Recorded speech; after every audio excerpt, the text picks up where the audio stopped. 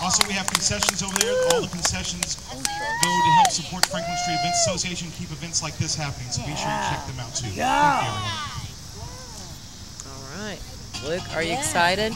Yeah. You're gonna see Cloudy with a chance on meatballs at Franklin Park. Yeah. Yeah, in front of Franklin Library. Yeah. It's gonna be fun. That's where they're gonna show the movie. The crowd of people getting ready to watch the movie. All right, big boy. Yeah. Yes.